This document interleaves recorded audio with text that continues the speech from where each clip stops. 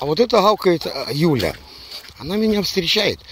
Дело в том, что это такая хорошая собака, которая никогда мимо не проходит, когда я возле нее. Сейчас я ближе подойду, на паузу ставлю.